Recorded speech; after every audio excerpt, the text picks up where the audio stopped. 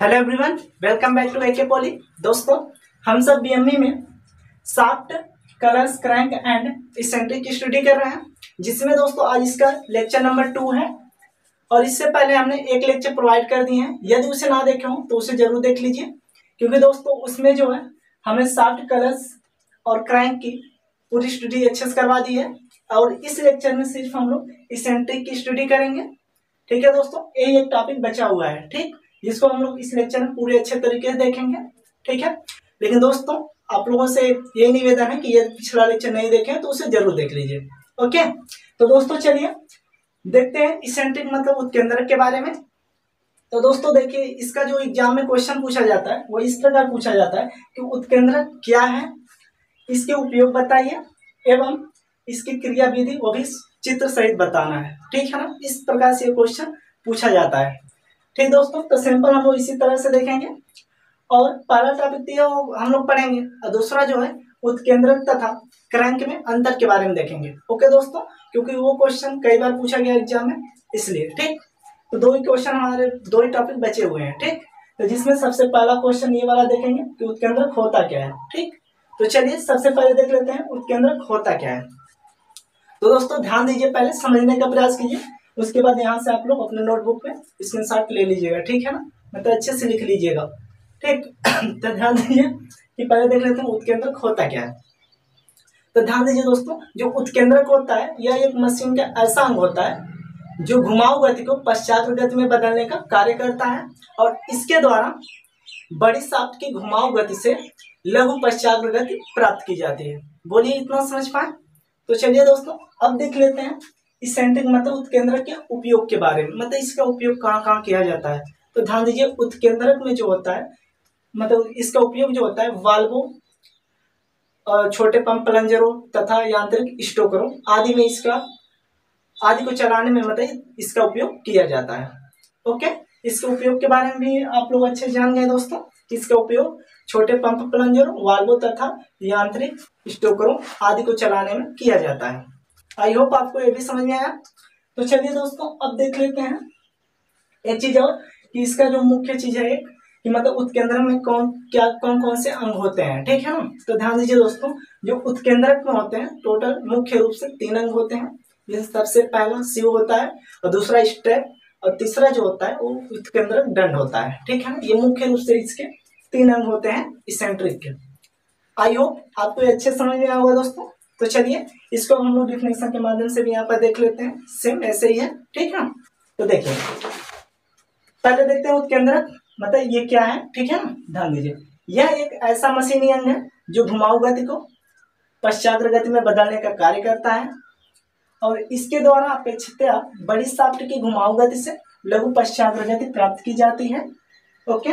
और ध्यान दीजिए दोस्तों, इसके उपयोग उत्केंद्रक का उपयोग वाल्वों छोटे पंप प्लंजरों तथा यांत्रिक स्टोकरों आदि को चलाने में किया जाता है। बोलिए इतना समझ पाए और देखिए दोस्तों, उत्केंद्रक के मुख्य अंग जो होते हैं पहला सीव स्ट्रैप तथा उत्केंद्रक दंड, ये तीन होते हैं इसके मुख्य अंग। आई होप दोस्तों, आपको ये अच्छे समझ में आएगा तो चलिए, अब हम लोग देखेंगे इसकी मतलब उत्केंद्रक की क्रिया के बारे में, ठीक है ना? तो उससे पहले हम लोग इसके डायग्राम के बारे में देखेंगे कि डायग्राम पहले कैसे बनता है। डायग्राम देखने के बाद दोस्तों, इसको हम क्रिया विधि को भी यहाँ पर उतार देंगे ताकि आप लोग उसे स्क्रीन शॉट लेकर अच्छे से एक बार पढ़ लेंगे, पूरा अच्छे से क्लियर हो जाएगा आपका कॉन्सेप्ट ओके तो चलिए, इसे जो हम लोग रफ करते हैं और आगे बढ़ते हैं ओके चलिए। तो चलिए दोस्तों, अब देख लेते हैं इसेंट्रिक की क्रिया के बारे में, ठीक है ना? तो सबसे पहले इसका चित्र देख लेते हैं, क्योंकि दोस्तों, यदि डायग्राम यदि आपको अच्छे समझ में आएगा तो इसका जो क्रिया है उसको भी अच्छे से आप लिख पाएँगे। ओके ना? तो ध्यान समझने का प्रयास कीजिए। जिस प्रकार हम डायग्राम बनाएँगे, वो भी क्रिया बताते हुए बताएँगे, बनाएँगे। ओके ना? और आप उसे अच्छे समझने का प्रयास कीजिएगा। ओके? तो चलिए देखते हैं। देखिए, सबसे पहले क्रिया ही बता रहे हैं, ध्यान दीजिएगा, ठीक है ना? सबसे पहले इसमें क्या होता है? एक शिव होता है। क्या होता है? इसमें जो होता है, एक इस प्रकार से एक शिव होता है, ठीक है ना? जिसके केंद्र से, यहाँ पर मान लीजिए इस प्रकार से केंद्र बना दीजिए, ऐसे। ठीक है ना? जिसके केंद्र से, ठीक है ना? जिसके केंद्र से कुछ दूरी पर, ठीक है ना? एक छिद्र बनाया जाता है। ठीक है? एक छिद्र बनाया जाता है, मान लीजिए ऐसे है। ठीक? एक छिद्र बनाया जाता है, जिसमें एक साफ्ट पिरोया जाता है मतलब जिस पर एक साफ्ट लगा होता है। ठीक? इस प्रकार से मान लीजिए साफ्ट लगा होता है। इस प्रकार से साफ्ट लगा होता है। जिसके जिस पर मतलब साफ्ट पर लिखेंगे तथा साफ्ट पर ऐसे। साफ्ट पर इस प्रकार से बना दीजिए। साफ्ट पर कुंजी की सहायता से शिव को जोड़ा जाता है। यहाँ पर देखिए, इस प्रकार से कुंजी की सहायता से साफ्ट पर इसे जोड़ा जाता है। ठीक है ना? शिव को जो और कुंजी की सहायता से साफ्ट पर जोड़ा जाता है और शिव की परिधि से होता हुआ शिव की परिधि से होता होता हुआ, इस प्रकार से देखिए शिव की परिधि से होता हुआ एक उभार या खांचा लगा होता है। इसे उभार या खांचा बोलते हैं, ठीक है? क्या बोलते हैं? उभार या खांचा, ठीक है ना? शिव की परिधि से होता हुआ एक उभार या खांचा लगा होता है। ये दोस्तों होता है शिव खाचा लगा होता है। और इस खाचे से मतलब और इस खाचे से दो स्ट्रैप बोल्ट जुड़े होते हैं। यहाँ पर दो स्ट्रैप बोल्ट होते हैं, ठीक है ना? इस प्रकार से देखिए। इस प्रकार से दो स्ट्रैप बोल्ट जुड़े होते हैं। यहाँ पर स्ट्रैप बोल्ट लगे होते हैं, ठीक है ना? यहाँ पर भी नीचे भी इस प्रकार से रहेगा। दो स्ट्रैप बोल्ट जुड़े होते हैं।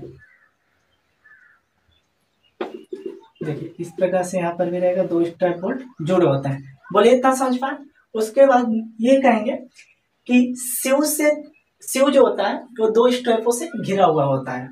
शिव जो होता है, ये दो स्ट्रैपों से घिरा हुआ होता है, ठीक है ना?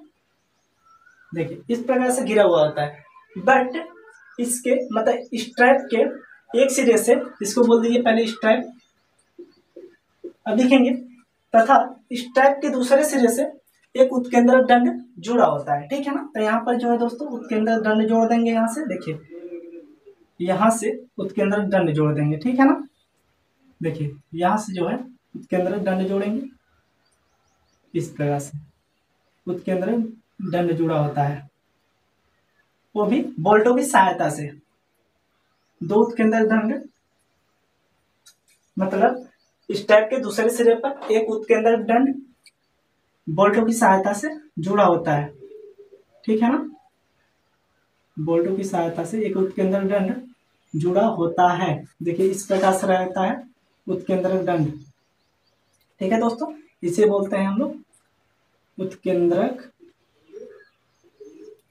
दंड। बोलिए, इतना समझ पाए? तो दोस्तों, यही जो होता है, इसकी क्रिया विधि होती है, और लिखेंगे। अतः यहाँ पर ऐसे लिख देंगे, ठीक है ना, कि स्टेप मतलब दो स्टेप से सिर्फ़ घिरा हुआ होता है, जिसके एक सिरे पर एक उत्केंद्र दंड, दो बोल्टों से कसा हुआ लगा होता है। अतः दंड से, अतः उत्केंद्र दंड पश्चात करता है, इसलिए उत्केंद्र दंड से मशीनी अंग के वे पार्ट जोड़े जाते हैं, जो पश्चात गति करते हैं, ठीक है क्योंकि उसके अंदर क्या है? पश्चात गति करता है, इसलिए मशीन के जो पश्चात गति करने वाले अंग होते हैं, वो इससे जुड़े हुए होते हैं। ओके दोस्तों, यही होता है इसकी क्रिया। और ध्यान दीजिए, इसको मान लीजिए, ये जो साफ्ट का केंद्र है, इसे बी मान लेते हैं, और ये सीव का केंद्र जो होता है, इसे ए मान लेते हैं, ठीक है?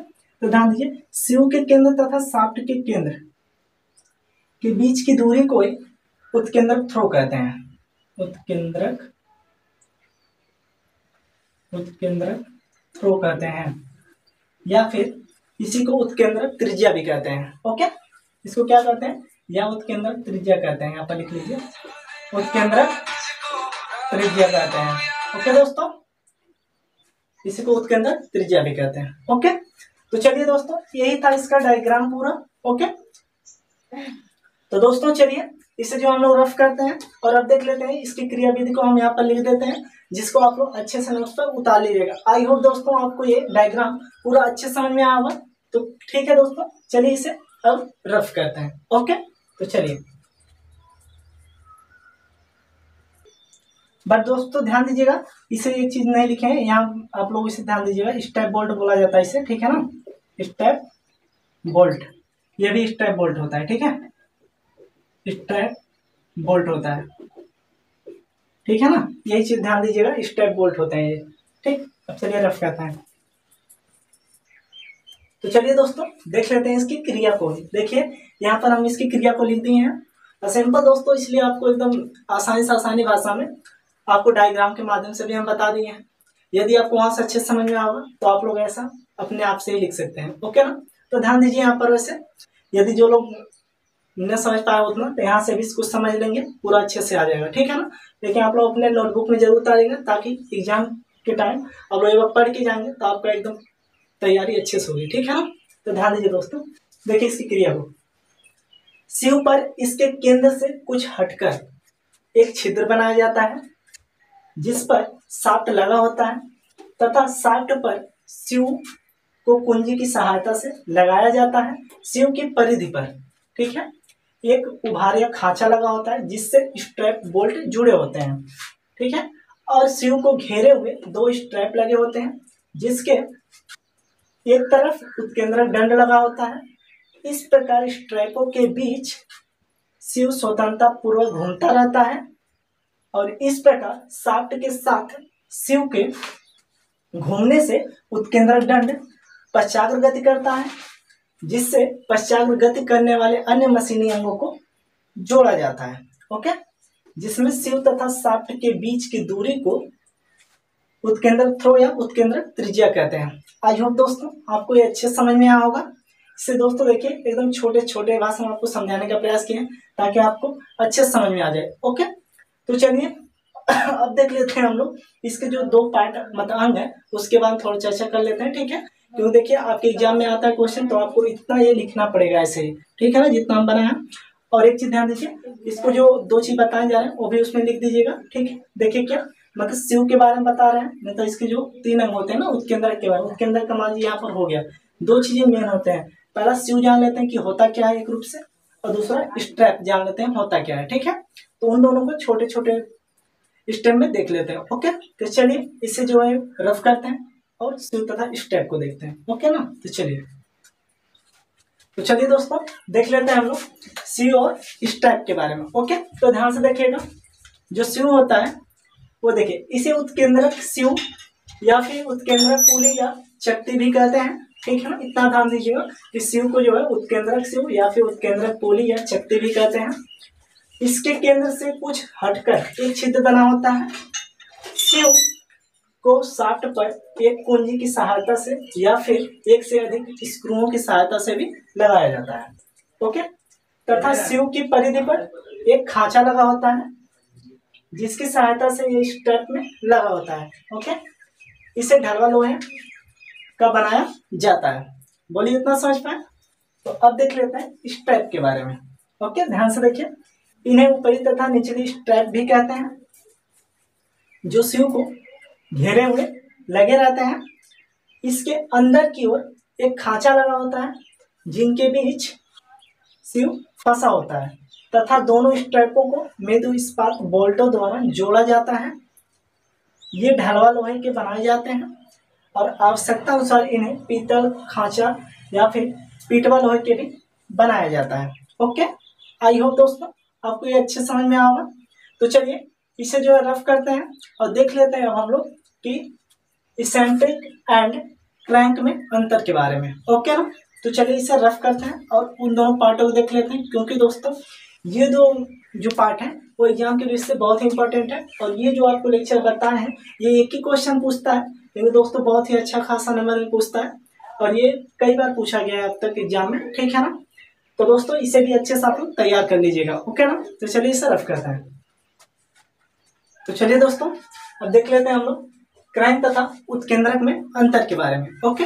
तो ध्यान दीजिएगा दोस्तों कि क्रैंक तथा उत्केंद्रक में अंतर होता क्या है, ठीक? देखिए ध्यान से। उत्केंद्रक में मुख्य साफ्ट तथा क्रैंक भोजन दोनों पाए जाते हैं, ओके? इतना ध्यान दीजिएगा कि जो उत्केंद्रक होता है, इसमें मुख्य साफ्ट तथा क्रैंक भोजन दोनों ही होते हैं। और उत्केंद्रक की दशा में, ठीक है? मतलब उत्केंद्रक की दशा में जो होता है, क्रैंक पिन इतनी बड़ी हो जाती है कि यह साफ्ट को ढक लेती है, जिससे साफ्ट हमें दिखाई नहीं देता है। ओके बोलिए इतना समझ पाए? और ध्यान दीजिए, उत्केंद्रक की दशा में साफ्ट की निरंतरता भंग नहीं होती है। इसका कहने मतलब यह है कि जो उत्केंद्रक की दशा में जो साफ्ट होती है, उसकी मतलब चलने की जो निरंतरता रहती है, वो रुकती नहीं है। ठीक है ना? यही कहने मतलब है, उत्केंद्रक की दशा में साफ्ट की निरंतरता भंग नहीं होती है। ओके तो ध्यान दीजिए अब चौथा स्टेप कि शिव तथा स्टेप में अत्यधिक घर्षण के कारण पश्चाग्र गति को साप्ट की घुमाव गति में नहीं बदला जा सकता। ठीक है ना? जब शिव तथा स्टेप में अत्यधिक जब घर्षण होता है तो उसमें पश्चाग्र गति उत्पन्न होती है। ठीक है ना? तो उस गति को जो है साफ्ट की घुमाव गति में नहीं बदला जा सकता है। बट यदि शिव तथा स्टेप में अधिक घर्षण, जो घुमाव अधिक घर्षण के कारण यदि घुमाव गति उत्पन्न होता ठीक है? देखिए, यहाँ पर घर्षण नहीं होता तो घुमाव गति उत्पन्न होता। जिसको हम लोग साफ्ट की पश्चाग्र गति में बदल सकते हैं, ठीक है ना? बट ऐसा यहाँ पर नहीं होता है। देखिए कि शिव तथा स्टेप में अत्यधिक घर्षण के कारण पश्चाग्र गति को साफ्ट की घुमाव गति में नहीं बदला जा सकता, ठीक है ना? जबकि क्रैंक द्वारा ये चीज़ संभव होता है, ठीक है ना? क्या होता है? क्रैंक में जो होता है पश्चाग्र गति को हम लोग क्या करते थे? साफ्ट की घुमाव गति में बदलते हैं। और उत्केंद्रक में क्या होता है? उत्केंद्रक में घुमाऊ गति को पश्चाग्र गति में बदलते हैं। ओके? आई होप दोस्तों आपको ये भी अच्छे समझ में आया होगा। तो चलिए, दोस्तों इस लेक्चर में बस इतना ही था और आज इस लेक्चर में हमारा चैप्टर नंबर फाइव पूरा द एंड होता है। इसके बाद जो है दोस्तों, अगले लेक्चर में हम लोग चैप्टर नंबर छः की स्टडी करेंगे, जो कि कपलिंग तथा क्लचेज के बारे में है, ठीक है जिसको अच्छे से हम लोग पढ़ेंगे। तो दोस्तों, जिसमें दोस्तों आप लोगों का जो सातवां चैप्टर है स्प्रिंग से मतलब गियर से शायद गियर है सातवां चैप्टर आठवां चैप्टर से। आठवां चैप्टर में जो गियर है, वहाँ से जो आप लोगों का न्यूमेरिकल स्टार्ट है, जिसको पढ़ने में और भी मज़ा आएगा, ठीक है ना? और इन सभी चैप्टरों में फ़िलहाल थ्योरी पोर्सन ही है, ठीक है ना? जिसे अच्छे से आप लोग पढ़ते रहिए। तो दोस्तों, अच्छे से तैयारी करते रहिए। जय Hind bye bye take care